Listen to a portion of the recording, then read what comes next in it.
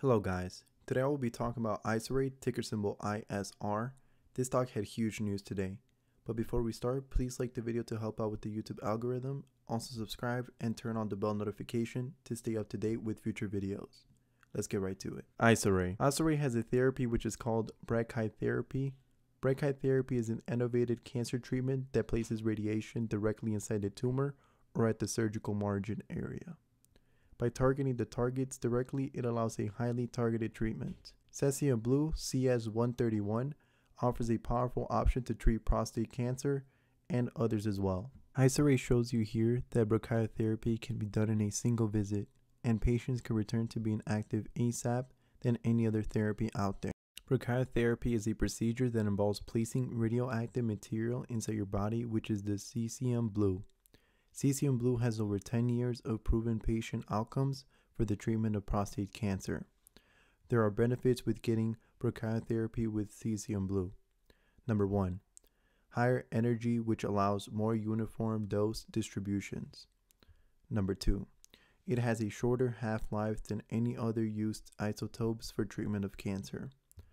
Number 3.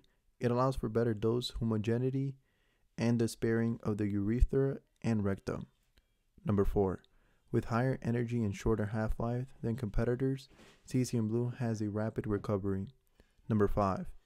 It has a higher biological effective dose. And number 6. It has early tumor control which is considered gold standard in permanent seed brachytherapy. They currently had big news related to prostate cancer.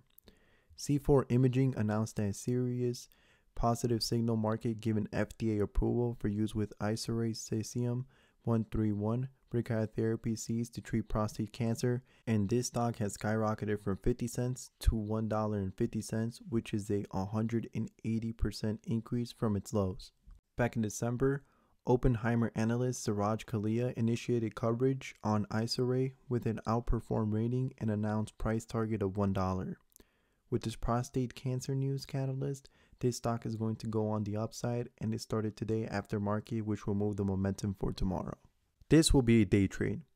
I will get in and get out on the same day. First support level was found at $1.26. Second support level was found at $1.20.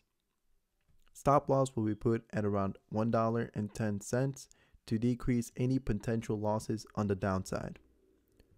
And since this is a prostate cancer news catalyst, I will ride until momentum decreases. Since the moves were done after market, there should be momentum pre-market and when market opens. To wrap things up, I will be leaving the company's PDF in the description as well with my Discord. We have reached over 200 members now. Please like, subscribe, and turn on the bell notification so you don't miss out on any videos.